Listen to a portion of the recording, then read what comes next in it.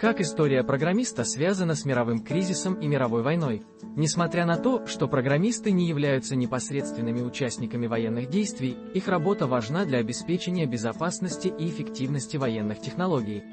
Во время мировых кризисов и войн программисты могут столкнуться с повышенным спросом на разработку новых технологий и систем безопасности. Одним из примеров такой работы является создание программного обеспечения для криптографии и защиты информации.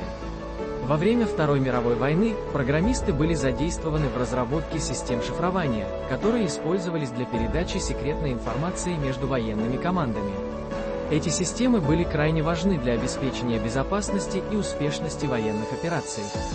Кроме того, во время мировых кризисов и войн, программисты могут столкнуться с повышенным спросом на разработку новых технологий, которые могут быть использованы для улучшения военных операций. Это может включать в себя разработку новых систем управления беспилотными летательными аппаратами, разработку боевых роботов и других технологий. Что касается чая и сигарет, то они могут играть роль в повседневной жизни программистов во время мировых кризисов и войн. Во время Второй мировой войны, например, чай и сигареты были выдаваемыми продуктами для военных, включая программистов, которые работали над разработкой систем шифрования и других военных технологий. Эти продукты могли быть использованы для повышения морального духа и улучшения работоспособности военных и программистов во время трудных условий.